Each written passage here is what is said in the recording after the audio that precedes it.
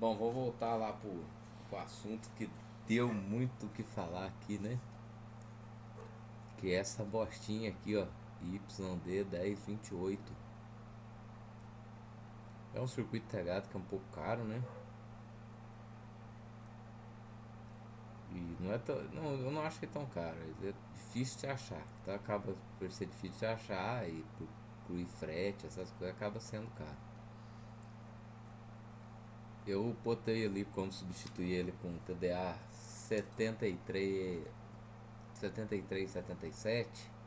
Eu acho que houve algumas dúvidas. Então, portanto, eu vou mostrar aqui como é que termina ele.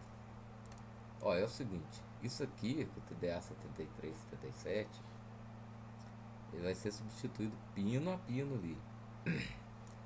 Vou deixar esse databook aqui, com 5 mil circuitos integrados e com, com tudo que tem conexão, características, capsulamento, substituto e o fabricante, tudo aqui certinho para você ver aí é, e ver o que, que você pode fazer. Vamos lá, vamos botar lá o YD 1028. Pronto, já achou. Olha aqui. Sabe, esse circuito integrado aqui, você pode ver, ele tem um pino 8 standby, vai ligado direto nos 12 volts, tá? E ele tem um tanto de substituto, olha aqui, ó, TDA 1519.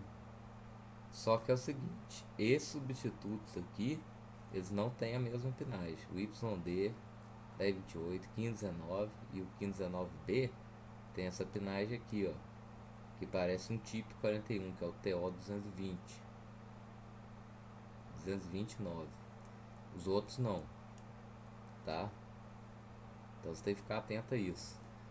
Agora, olhando os dois aqui, eu vou mostrar para você uma coisa. Dá para substituir ele por pino a pino pelo TDA 7377. Pronto, vou lá. 7377. Tá aqui, ó. Pino a pino, cara, ó pino a pino. E com a vantagem do seguinte, que isso aqui você tem quatro saídas em vez de duas ali. Que ali você tem duas que aguentam 2 ohm e cada uma dá 9 watts em 2 ohm. Pode olhar aqui, ó. Ela é muito fraquinha essa saída, por isso que queima, cara. Queima muito, entendeu? O cara coloca lá, ó, queima mesmo. Olha lá, tá vendo? Mas ela tem saída de 2 ohm aqui, ó, cá, ou 4 ohm em bridge. É muito preferível você colocar esse circuito integrado aqui, ó. Tá? E pode ser substituído diretamente. A dúvida que o povo tem é que se dava para substituir por alguma outra coisa é como é que faz a ligação, entendeu? Não, a ligação faz desse jeito que você, vai pegar a placa de áudio, você vai serrar ela do rádio antigo, vai serrar, vai só conferir essa ligação aqui, ó, vai parafusar ela no dissipador, vai ligar com isso aqui, ó.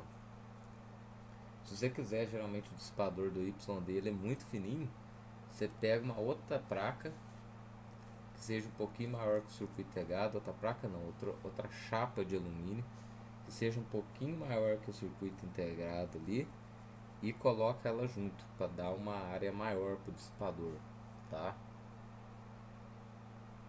Mas é para substituir pino a pino, cara. Esse aqui, ó, a entrada vai lá para entrada, tá? Inclusive você vai serrar até esse capacitor aqui, ó, 022 aqui, ó. Você vai manter só esse capacitor de 47 micro no pino 6 esse de 10 micro aqui. Essa entrada aqui já vai lá para outra, pro mute, tá? Isso aqui vai pro mute. Isso aqui vai desligado e o resto, ó, você vai só soldar os, soldar os fios, você vai serrar a placa, soldar os fios aqui e soldar lá, tá? Não tem erro. Esses 10k aqui, esse resistor 10k na entrada do pino 7, você tem que manter porque ele segura um pouco a corrente, né? Já que a entrada aqui é CMOS, né? Então não precisa de muita corrente, então precisa ligar direto. Pode ligar só com o resistor 10k. É isso, não tem não tem o que fazer. Tá? Você viu os substitutos ali, já mostrei os substitutos. E agora eu vou mostrar uma outra ideias. Agora já é o seguinte, ideias. Ah, você lembrou de outra coisa. Pessoal, 1558. É a 1558. Aqui ó. TDA 1558 também posso substituir diretamente também. melhor ainda, esse TDA 1558 aqui. E dá muito mais som do que essa porcaria também do seu. Desses outros aí que eu tô mostrando, YD aí. Tá? Agora tem uma dúvida que eu vou falar, mas o TDA 1028 é igual ao YD 1028? Não. O que, que é o TDA 1028? É uma chave de áudio, como você pode ver aqui, ó chave de áudio, tá? Que ver que, que ela serve? Serve para chavear sinal. O sinal entra por aqui. Quando eu ligo no terra, ele o sinal, a chave fica nessa posição aqui, ó. Entre o pino 10 e o pino 7 e no outro entre o pino 15 e o pino 2 o áudio passa para cá. Quando eu aterro isso aqui, ela muda a posição da chave aqui e pega o áudio de outro sinal. Isso aqui que é o TDA 1028, tá? Não vá confundir com YD 1028. Você viu ali os que são substituídos pina pina. Que tem muita gente que fala, não é o TDA 1028. Não é o TDA 1028. Pare com isso. Tire isso da sua cabeça. Tá, então, tirando isso aí, é um vídeo simples que eu fiz aqui. Eu pretendo fazer mais isso aqui é só para dar ideia. Ideia do que? Você não perder tempo, cara. Você consertar e não perder tempo. vai, serra as placas lá, ó. Sempre tem essas placas aqui. É cheio dessas placas aqui. Você pode olhar, tem vários, vários, vários. Entendeu?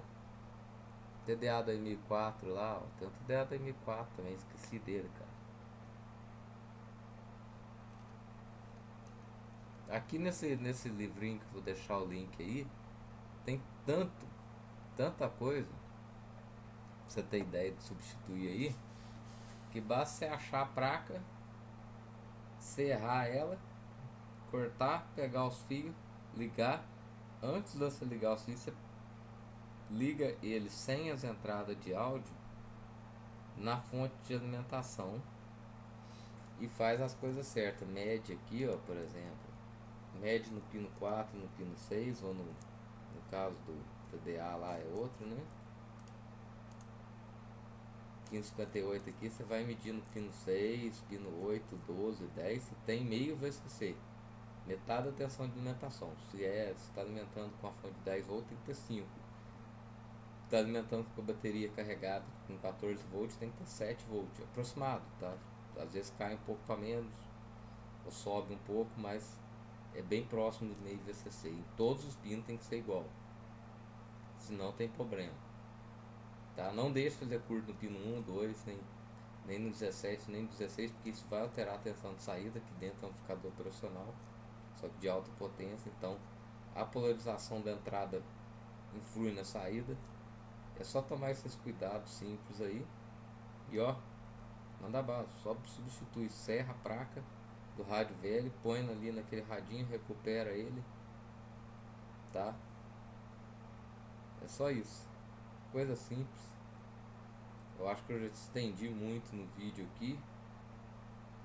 Eu acho que nem precisa deixar layout de placa também, porque vocês já entenderam que a gente não vai fazer placa, não vamos perder tempo fazendo placa. A gente vai simplesmente cortar o, a situação aqui. Ele vai cortar o integrado aqui.